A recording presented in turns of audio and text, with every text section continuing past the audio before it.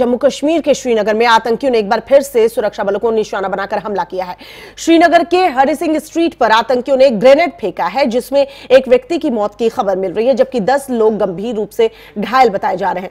फ़िलहाल सुरक्षा बलों ने पूरे इलाके को घेर लिया है। आतंकियों ने बीते पंद्रह दिनों में दूसरी बार यह ग्रेनेड अटैक किया है।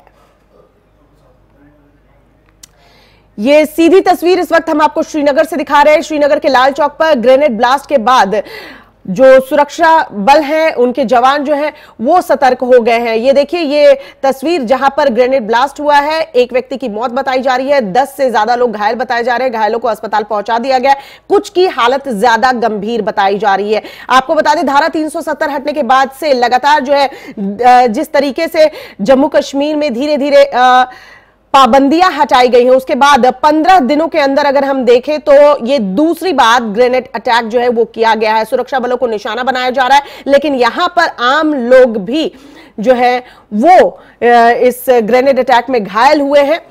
सीधी तस्वीर श्रीनगर से हम आपको दिखा रहे हैं किस तरह से जवान जो है वो पूरी तरह से तैयार हैं और यहाँ पर, जहाँ पर लाल चौक के पास ग्रेनेड अटैक हुआ है, वहाँ की भी तस्वीर लगातार हम आपको दिखा रहे हैं कि किस तरह से यहाँ भारी पुलिस बल तैनात है और भारतीय जवान जो है लगातार यहाँ चेकिंग कर रहे हैं किसी तरह की कोई आ, संदिग्ध गतिविधि अगर देखने को मिलती है कोई संदिग्ध व्यक्ति नज़र आता है तो उसे हिरासत में लिया जाएगा और तफ्तीश की जा रही है। ये वो इलाका है जहाँ देखिए किस तरीके से छावनी में तब्दील हो चुका है लाल चौक का ये इलाका।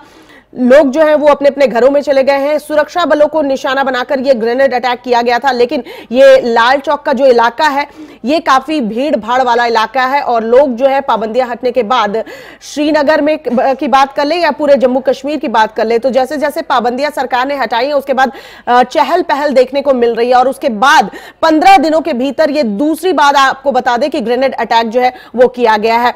सुरक्षा के पूरे चाक चौबंद बंदोबस्त किए गए हैं। लगातार जो भारतीय जवान है और जो जम्मू कश्मीर की पुलिस है, वो लगी हुई है। यहाँ पे चीज़ें मॉनिटर की जा रही हैं और तफ्तीश की जा रही है किसी भी संदिग्ध गतिविधि पर रोक लगाने के लिए भारतीय जवान जो है पूरी तरह से तैनात है। चौक पर चौक पर क्या हुआ? ग्रेनेडर हो गया। हाँ, हाँ। तो कितने वहाँ पे इंजर्ड आपने क्या देखा वहाँ मैंने वही दो देखा। हाँ, बस बाकी तो जख्मी है। कोई मर भी गया स्पॉट हाँ स्पॉट मर मर गया। ये बिहारी था बेचारा मुसलमान।